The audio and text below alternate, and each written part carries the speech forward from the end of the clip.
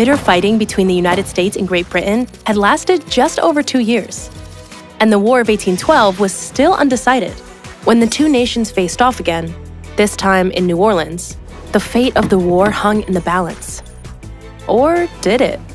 Leading US troops was General Andrew Jackson, who hated the British for abuses he and his brother suffered as prisoners of war during the Revolution.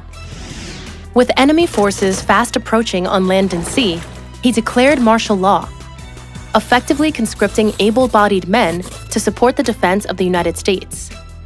This included French and Spanish Creoles, Native Americans, militias, sailors, and even some pirates. A vanguard of British troops crossed Lake Borgne, just 12 miles from New Orleans.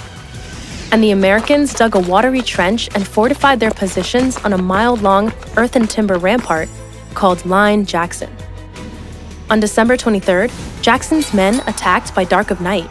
Over the next week, the American and British armies bombarded each other's lines with cannons. But both sides had heavy losses, and this stalemate shook British morale. On January 8th, the British launched an all out attack on Line Jackson. But British soldiers arrived before their equipment needed to scale the rampart.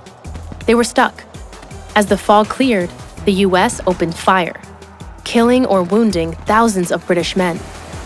Their commander, Lieutenant General Sir Edward Pakenham, died in the battle. American troops took less than 100 casualties. The Battle of New Orleans had been decided. Britain's defeat destroyed any hope of them capturing the port city and the Gulf Coast.